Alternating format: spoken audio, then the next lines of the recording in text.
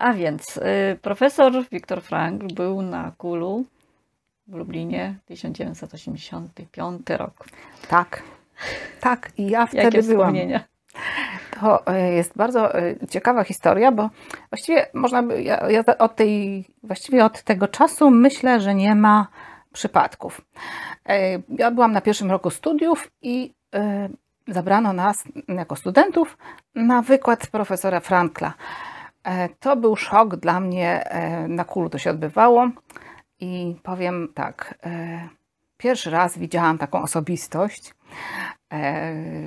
sławę światową i nagle właśnie ja znajduję się w takim, na takim wykładzie. Jako studentka to powiem tak, niewiele pamiętam z tego, co mówiono. Słów nie Z treści. powtórzę. Z treści tak. Natomiast to wrażenie, które odniosłam, które wtedy em, e, i zostało ze mną zresztą na całe życie. Dwóch ludzi, profesor e, Frankl i profesor Popielski, na wielkiej scenie, na kulu, na dużej auli. Aula wypchana po prostu po brzegi. E, Tak, że nie było gdzie szpilki wcisnąć. Później się dowiedziałam, że byli studenci to nie tylko psychologii, ale po prostu wszyscy, praktycznie z kulu chyba wszyscy przyszli.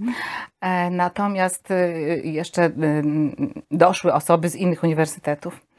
E, I ta swoboda, z jaką tych dwóch ludzi, wielkich ludzi sobie mm, rozmawiało, ten wykład dla mnie był takim wzorem wykładów. E, To było spotkanie dwóch właściwie dwóch osób, dwóch e, ciekawych bardzo ludzi, którzy mieli bardzo wiele interesujących rzeczy do Otwartych powiedzenia. umysłów. Otwartych umysłów, prawda? Coś, co, e, co było e, takie niespotykane, nie było w tym żadnej sztywności. To była rozmowa przyjaciół. To było e, e, fascynujące. Po prostu oni się rozumieli bez słów. E, To też to było tłumaczone, to pewnie dlatego e, trudno mi było pamiętać treść. Natomiast pamiętam to ogólne wrażenie. Profesor też mówił po niemiecku, profesor Popielski, więc to było coś zupełnie e, nowego, mm, coś niesamowitego. I właściwie em, potem mm, moje drogie, że tak powiem, z, z Franklem, nie mówiąc już o e, księdzu naszym Popielskim, się jakby rozeszły na, na długo. Zajęłam się swoim, swoim życiem, swoimi studiami E, i można powiedzieć, że troszeczkę o tym zapomniałam. No bo jak to, jak to życie. Jak to życie. Em, Wracając jeszcze do wspomnień, e, pamiętam, że e, profesor zawsze mówił o atmosferze, o tłum, dzikim tłumie ludzi. Tak. Te skrzydełka, które są na auli, e, tak zwane skrzydełka, jeżeli są osoby, które e, znają e, terytorium Katolickiego Uniwersytetu Lubelskiego, jest, e, są skrzydła na auli z lewej i z prawej, były pootwierane i, i wszędzie były osoby. E, Ponoć na schodach jeszcze jakieś telewizory, tak na zewnątrz. e, Wszędzie na, było wyciągnięte i mi się udało być na auli, ale tam wyżej, prawda, na tym takim balkonie E, i, i tak z góry to, to było też fascynujące właśnie oglądanie tego wykładu z góry właśnie, patrząc na jak profesor Popielski, profesor Frank, jak oni się swobodnie dogadywali z, z ludźmi. To nie był taki sztywny wykład, że ktoś mówi, pokazuje slajdy jak dzisiaj. W tamtych czasach nie było slajdów. O, znaczy może, można było coś tam jakimś rzutnikiem, Pewnie coś, tak. ale nie było. To było całkowicie spontanicznie, całkowicie z głowy. E, To było widać, że ci ludzie żyją tym, e, co mówią. To jest dla nich bardzo ważne. Logoterapia, e, pomoc właśnie innym Mhm. ludziom, terapia właśnie, pomoc potrzebującym. E, Pomoc psychologiczna w zupełnie innej jakby odsłonie. E, Coś nowego w- Lublinie. Wiem, że to było mm, fascynujące. Ksiądz profesor Popielski e, zaraził wtedy Franklem bardzo wielu moich wykładowców, wtedy jeszcze z UMCS-u. To było bardzo widać i oni o tym mówili nam na zajęciach. E, Zresztą Tak, była... bo, przepraszam, e, przecież studiowałaś na UMCS, nie na... Nie na Kulu. Na Kulu tak, na robiłam Kulu. doktorat, a, a na UMCS-ie studiowałam. I, I pracownicy z UMCS-u też właśnie zaangażowali się. Ksiądz profesor, z tego co ja pamiętam, robił taką, stworzył taką poradnię też, gdzie uczył różnych ludzi, chętnych psychologów właśnie tak. To była jedna z takich pierwszych poradni, zresztą wolontariacka poradnia, tak. bo bez, bez żadnych kosztów dla, dla osób zgłaszających się tam. Więc zresztą pamiętamy, jak profesor często na seminariach o tym, o tym opowiadał. To była też taka akcja i taka otwartość na, na drugiego człowieka. Y, nie byłaś na Majdanku? Y, nie. Nie, bo to było tak trochę. To znaczy. Wtedy, jak profesor Frank był. Nie, nie, nie, nie, wtedy nie, nie, wtedy nie. Nie, nie. To, mhm. to się tego nie, nie udało mi się, że tak powiem, ale. E, ale to wrażenie zawsze ze mną, e, zawsze ze mną jest. No zresztą logoterapia została w, w Twojej działce naukowej i życiowej. Tak. Jak się rozwijała dalej? Więc e, tutaj było też, mówię, znowu nie było przypadku w życiu, nie ma przypadków. Po tym, jak mówię, troszeczkę jakby moje drogi z Wiktorem Franklem się rozeszły, z księdzem Popielskim tym bardziej, bo, bo ja wtedy widziałam go pierwszy raz to po skończeniu studiów e, trafiłam do pracy z cudzoziemcami. Mhm. W ośrodku dla cudzoziemców e, to był jeden z pierwszych e, ośrodków w, Polsce, rok 94 kiedy ten ośrodek w Lublinie powstał, ja poszłam tam do pracy w 95 w marcu, to pamiętam, bo już będzie rocznica. I, i wtedy okazuje się, że pomoc ludziom którzy przyjeżdżają z wojny albo uciekają przed prześladowaniami, bo to byli mm, migranci przymusowi, się dzisiaj mówi, no uchodźcy, mhm. zamiennie się na to, na to mówi. E, ja właściwie nie byłam przygotowana do pracy z, e, z ludźmi z obcych kultur. Myśmy, przypomnijmy, no 89, upadek muru, e, o wcześniej Solidarność, prawda, więc mhm. myśmy z zażelażnej kurtyny, że tak powiem, dopiero wyszli. A tutaj przyjechało do nas mnóstwo ludzi z różnych krajów, z krajów byłego Związku Radzieckiego, ale nie tylko, z Afganistanu, z Czeczenii, z Afryki mnóstwo ludzi było, z różnych krajów afrykańskich. Więc praca z tymi ludźmi była dla mnie czymś zupełnie nowym. Jakby y, no, nikt nas wtedy też nie uczył psychologii międzykulturowej, kulturowej, to jeszcze nie było w programach studiów. I trzeba było sobie z tym radzić to byli ludzie też po wielkiej traumie. To, co teraz widzimy, co się dzieje na Ukrainie, to jest, y, może każdy sobie wyobrazić. Więc z ludźmi po takich traumach y, przyszło mi pracować i okazuje się, że muszę znaleźć sposób, w jaki z tymi ludźmi będę pracować. Jakąś, jakiś wspólny język międzykulturowy. Wspólny język międzykulturowy, ale też jakąś technikę terapeutyczną, jakąś koncepcję człowieka, prawda? W duchu której będę mogła y, znaleźć odpowiednie narzędzia i podejście I? do tych ludzi. I nagle nagle okazuje się, że jest, jest, jest ksiądz profesor Popielski, jest Wiktor Frankl, na który, jest, na, logoterapia. jest logoterapia i mm, okazuje się, że coś, co Wiktor Frankl stworzył po wojnie, po swoich doświadczeniach z obozów koncentracyjnych, to jest identyczne to, co dzieje się teraz. Historia nie umarła, nie ma końca historii, ale się. Tak, toczy się kołem, prawda? Więc obozy koncentracyjne Frankla, a tu obozy na przykład filtracyjne, czy w byłej Jugosławii, czy w Czeczeni, e, czy gdzie indziej jeszcze, prawda? I ludzie z takimi samymi bardzo, albo bardzo podobnymi e, doświadczeniami.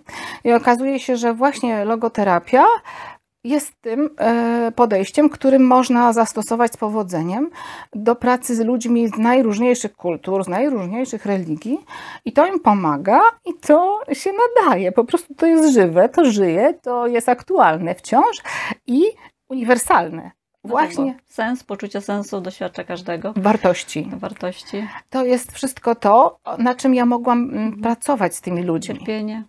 Tak, stosunek do cierpienia, do bólu.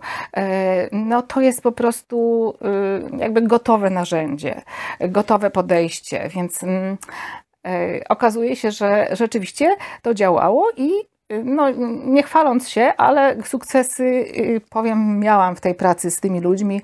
Bardzo wiele osób y, jakby wyszło na prostą. Mhm. E, nikt z moich pacjentów, klientów, których było kilka tysięcy, e, na, ci ludzie, którzy byli, mieli ze mną do czynienia, nikt z nich na przykład no, nie popełnił samobójstwa, chociaż mieli myśli y, samobójcze. Więc było, myślę, że e, dzięki logoterapii y, udało mi się y, jakoś ich podnieść na duchu i pomóc im po prostu w jakiś Zresztą sposób. pisałaś pracę doktorską i z sukcesem obroniłaś. Tak? tak, to też ciekawe. znowu nasz mistrz, profesor Popielski, który nie bał się trudnych tematów podejmowanych przez doktorantów. Tak, Nasz to profesor, y, zresztą pewnie wiesz, y, 26 nas. O, ja troszkę się zatrzymałam na mniejszej liczbie, ale dobrze, tak, że tak, mówisz. 26 doktoratów obronionych pod kierunkiem Profesora profesora Popielskiego i naprawdę nigdy nie bał się takich trudnych tematów. Tak. To też następna e, rzecz i mówię, że znowu nie ma przypadków, ponieważ e, no, Wiktor Frank, jak powiedziałam, przydał mi się jego logoterapia właśnie tutaj w, w pracy takiej zawodowej. Natomiast kiedy postanowiłam mm, napisać doktorat, to bardzo też chciałam pisać o, o tym, co robię, czyli o tych ludziach, prawda, o migrantach, uchodźcach. I okazuje się, że mm, właściwie bardzo wielu psychologów, y, do których się zwróciłam, profesorów, powiedziało mi nie. No ja mówię, nie byłam z, ja byłam z UMCS-u, więc y, y, najpierw poszłam do, na UMCS do swoich profesorów mi znanych. Żaden z moich, moich profesorów, może tak się wyrażę, nie chciał mnie jako doktorantki, ponieważ no, Temat ten- był specyficzny, Tak. niełatwy. Y, To była trauma wśród uchodźców z Czeczeni na dokładkę y, i mm, ludzie mówili, ale właściwie dlaczego my o tym, to jest jakiś niszowy temat, to jest w ogóle problem, który nas nie dotyczy, jacy uchodźcy, ja musiałam każdemu tłumaczyć, kto to jest uchodźca, mm, a dlaczego, a po co, więc absolutnie nie, więc byłam, mm, można powiedzieć, załamana. I cudem, trafem mm, trafiłam właśnie na mm, profesora mm, Popielskiego, który pracował właśnie na Kulu, a mój mąż też tam pracował i się po prostu zgadali gdzieś kiedyś na egzaminach. I tak od słowa do słowa przyszło, że, że ja pójdę. Oczywiście bardzo się tego bałam. Pamiętam jak dzisiaj, jak bardzo się bałam pójść y, y, do księdza profesora, żeby y, się przedstawić i zapytać go, co o tym on e, sądzi. Trochę ksiądz profesor taką pułapkę zrobił na mnie, e, tu z moim mężem, tak żeby mnie tam wepchnąć do, do pokoju, gdzie on siedział i, i, i- już, prawda, nie miałam wyjścia. No więc rzeczywiście tak się stało. Okazało się, że to fascynujący, ciepły człowiek, e, taki jak go zapamiętałam z tego pierwszego wykładu. Nic się nie zmienił. Nic się nie zmienił, ale no wtedy mogłam go właściwie poznać pierwszy raz z nim porozmawiać. I tak mnie ujął, że pamiętam, jak wyszłam stamtąd, to się popłakałam, że jest ktoś, kto mnie rozumie i kto chce mnie na ten doktorat i że moja Mało praca... tego podejmuje się prowadzenia. Tak, prowadzenia się e, e, takiej, takiej pracy, która no właśnie była niszowa, a on odważnie mówi, nie, to ciekawe jest, to trzeba to zrobić, to będzie trudne, ale da, się, damy radę i, i rzeczywiście, no i rzeczywiście się nam udało. ja stosowałam jego koncepcję łącznie z koncepcją Frankla, e, więc tutaj e, przebadałam tych biednych moich uchodźców e, z Czeczeni, którzy no, wyrazili zgodę na, na te badania. One były bardzo długo, długotrwałe, no, po rosyjsku wszystko było, więc sama to musiałam robić. Bardzo tym ludziom też dziękuję, że się zgodzili, bo no, dotknęło to znowu ich psychiki takiej bardzo poranionej, ale też jakby dla nauki się poświęcili, także to bardzo im za to jestem wdzięczna. A profesor zawsze mnie wspierał, zawsze mnie wprowadził i, i, i mogłam też z, mm, z, taką, y, z takimi problemami do niego przyjść, y, na przykład na zasadzie superwizji gdzie na przykład nie wiedziałam, jak sobie poradzić z jakąś sytuacją. No ja byłam no, niezbyt doświadczonym jeszcze wtedy psychologiem E, i zawsze u niego można było liczyć na, e, na takie zrozumienie. On zawsze miał czas, żeby mnie wysłuchać, przecież miał swoich obowiązków bardzo dużo. Ale nigdy nie było tak, podpowiedzieć. Tak. tak. Y, Jak to z tym człowiekiem porozmawiać, czy czy- miał też takie bardzo trafne uwagi, y, też tak jak Frankl. E, Nieraz jednym zdaniem potrafił prosto coś powiedzieć, wytłumaczyć, nieraz tupnąć nogą. I tak człowieka otrzeźwiało, ale też zawsze był ten humor e, i taki e, m, brak, Troska o człowieka. troska o człowieka, brak takiego dystansu, że to jest, prawda, no, wielki profesor, nie można do niego podejść, porozmawiać. Nie, to było na zupełnie innej zasadzie. To był psycholog. yy, No, był i jest wielki, ale a, tak. stosunek do człowieka absolutnie Zawsze zupełnie inaczej, tak. otwarty. Niesamowite. Logoterapia w moim życiu.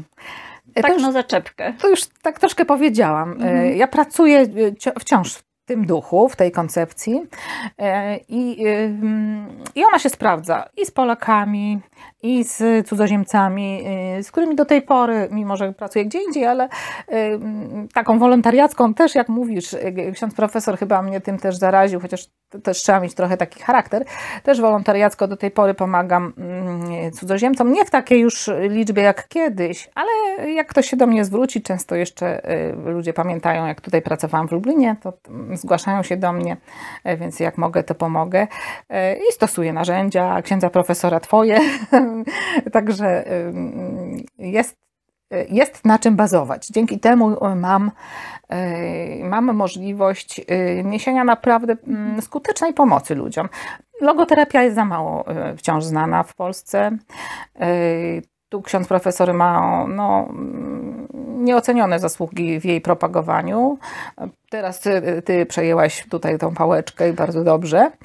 E, I, i, to, i następuje taka konsolidacja. Wokół księdza profesora następuje taka konsolidacja y, tego, można powiedzieć, ruchu logoterapeutycznego. Nie wiem, jak byś to nazwała. Myślę, że tak to jest. Prawda? To jest.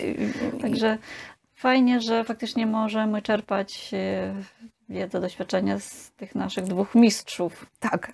I to profesor jest... Frank, profesor Łopielski. Także... Także nie przypadkiem. Mm, nie ma przypadku w naszym życiu. Nie ma, nie ma, nie ma. Też tak myślę, podsumowując te wszystkie e, zdarzenia, to takim sznureczkiem jakby mnie to prowadziło e, w stronę logoterapii gdzieś, e, jakie życie, czy, czy, czy los, czy jak. Przesłanie dla przyszłych logoterapeutów. Trzeba być autentycznym.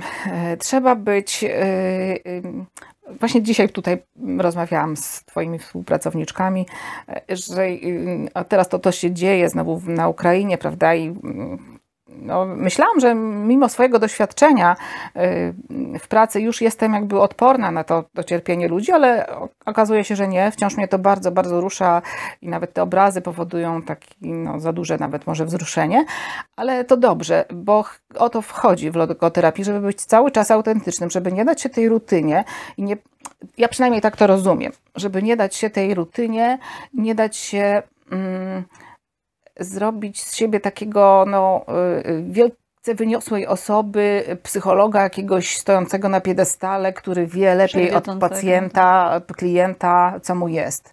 My tylko pytamy, e, mm, możemy tylko gdzieś tam nakierować tych ludzi, ale ta autentyczność e, i, i pokora. Z tego się zawsze staram wszystkim mówić. Pokora, pokora moja jako psychologa jest tutaj chyba najważniejsza. Fajnie, bardzo dziękuję, dziękuję. za poświęcony czas, że, że przyszłaś, że podzieliłaś się swoimi wspomnieniami, doświadczeniami, bo e, być świadkiem obecności profesora Frankla na Katolickim Uniwersytecie Lubelskim w Lublinie w 80. w 85 roku, tak. tak, to ubiegły wiek. Tak, wydarzenie naprawdę niesamowite. I tyle lat właśnie z, z księdzem profesorem Popieckim, w większym, mniejszym kontakcie, bo trochę wyjechałam, no to, y, ale, ale cieszę się, że, że wciąż y, mam możliwość tutaj z Wami współpracować i jest to dla mnie bardzo cenne. żyje. Żyje i myślę, że, że będzie coraz lepiej sobie radzić y, w naszym środowisku psychologicznym i terapeutycznym. Dziękuję bardzo. Dziękuję.